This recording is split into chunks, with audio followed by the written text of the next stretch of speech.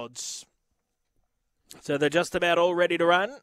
First of a dozen here today from Mount Gambier on an overcast Sunday. They're all in. The green light is turned on. And the lure's on its way now. They're set to jump. Ready.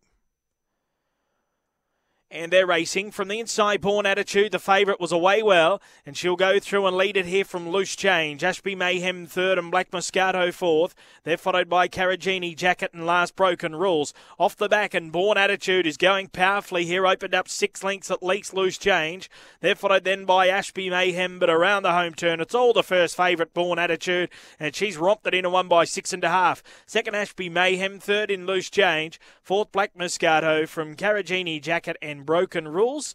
The time around 23.60. Number one first, Born Attitude.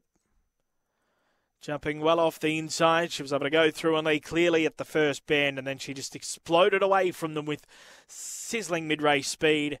And she's won it very comfortably here. Number one, Born Attitude. Number one first, Born Attitude.